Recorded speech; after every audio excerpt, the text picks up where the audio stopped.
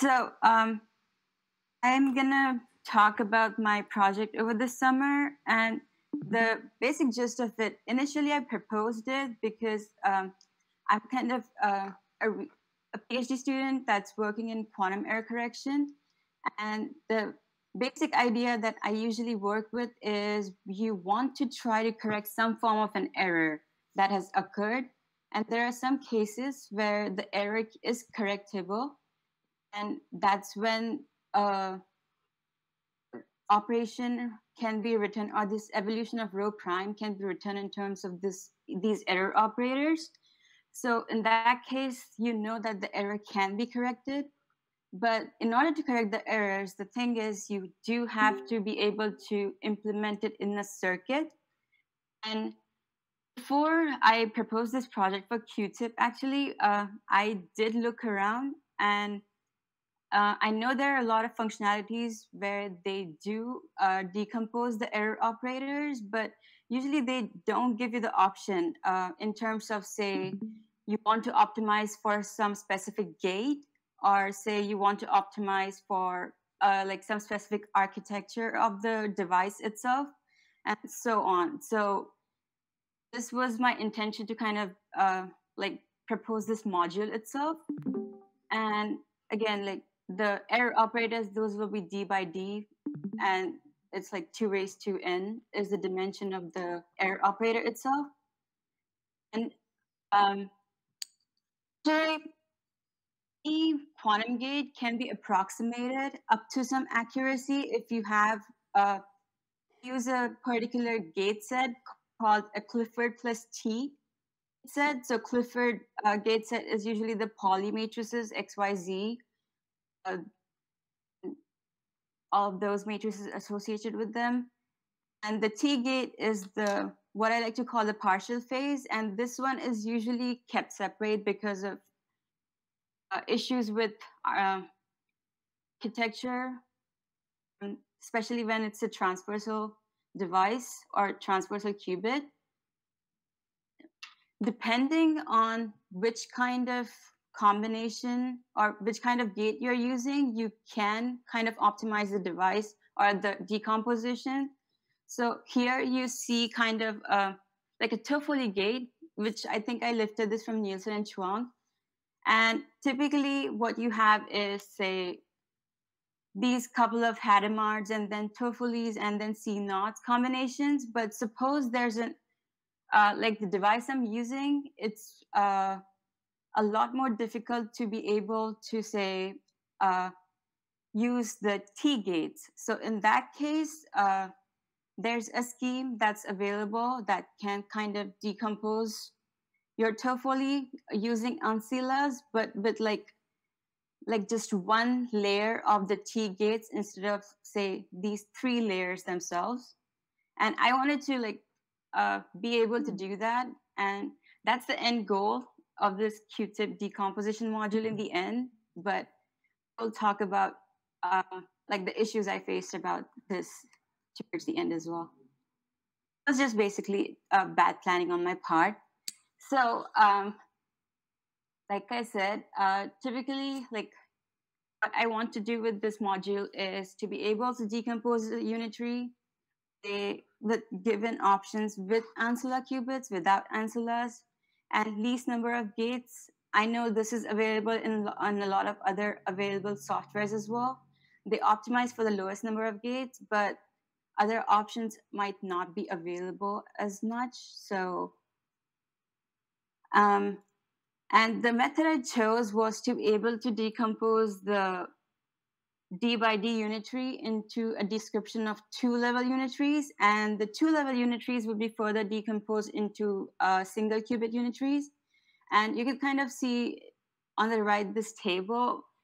As the number of qubits increases, like the number of two level gates needed also rises. And that means that the single number uh, or the single qubit unitaries will also increase in the same manner. And I think I'm almost like running out of time pretty much, I guess. So I will rush a bit as well. And um, so, like one thing or like one portion of my proposed project that I was able to com- uh, complete was the single qubit decomposition scheme, where you can describe a single qubit unitary in terms of, say, um, like a product of single qubit rotation gates. So some of the combinations I like those are possible in QuTiP right now. Yeah. And this is like just some random unitary I chose. And what I what I'm trying to like show here is I want to decompose that into a product of say patient gates along the z-axis and the y-axis and it's possible to do that right now in QuTiP and another possibility is the zxz combination. So it's like patient gates z i x and z and then some phase as well. There are some other combinations that are also possible but i finished that yet as well. Going back to my previous uh, slide, when I was talking about the number of gates needed for a two level, the number of gates needed for decomposing, say, a qubit, n number of qubit gate is for two qubits, this is like an example circuit. So each of these blocks, those are all like the two level gates. And I do want to be able to implement like a circuit like this, hopefully sometime soon when I complete the module and I'm gonna just rush skip through a slides.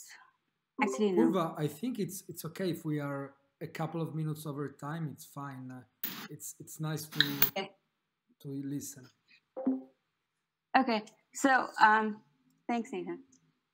So this is an example for like a two qubit gate but for larger number of qubits, what happens is uh, you also have to think about decomposing uh, bit Toffoli. So here it's like a five qubit gate or a five qubit two level gate where first four are the controls and the last gate is the target.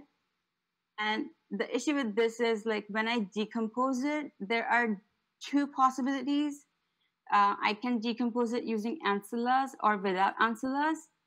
And there also you have to think about how the Toffoli or the n-bit Toffoli gets decomposed as well.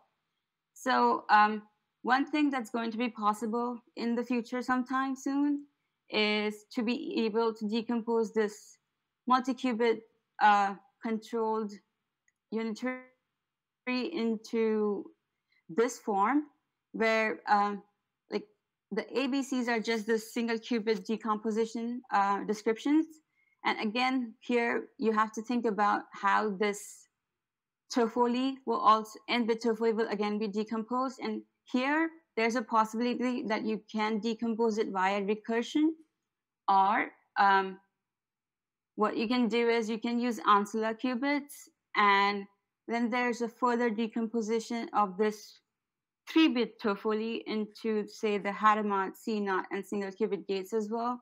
So that, that's an additional option that will be added soon to QuTiP.